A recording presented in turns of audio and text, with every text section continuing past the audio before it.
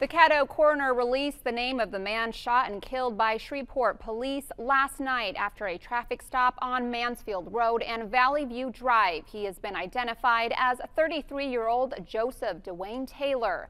This is the third officer involved shooting in Shreveport this year. Thanks for joining us at 4. I'm Priscilla Borrego. Let's get back to today's top story. Members of the community have gathered in protest over this most recent officer-involved shooting. Our KSLA's Tamer Knight has been out all day gathering the details and is live at Government Plaza where dozens of people showed up to have their voices heard. Tamer, what can you tell us?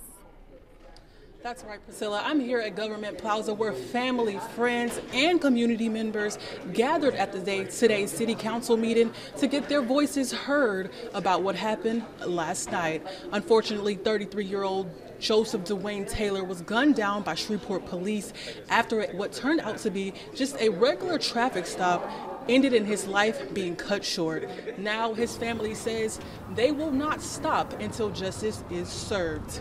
Family and friends and members of the community gather outside of the Shreveport Police Department earlier today to rally against the officer-involved shooting that claimed the life of 33-year-old Joseph Dewayne Taylor. Now there is a fight for justice. Protesters stood outside the Shreveport Police headquarters demanding answers on why Taylor was shot and killed.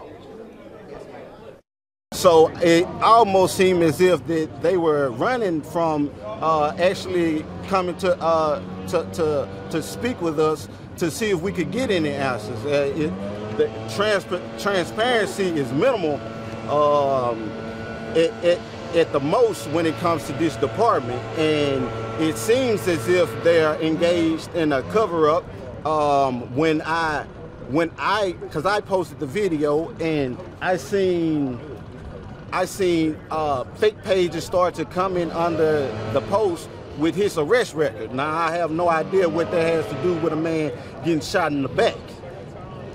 Whether he had a gun, if he was on his stomach, why do you shoot a man in the back if he's on his stomach? He's no threat to you.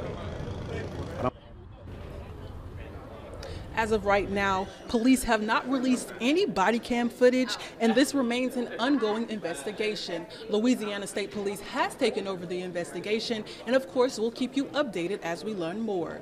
At Government Plaza, KSLA News 12, Tamer Knight.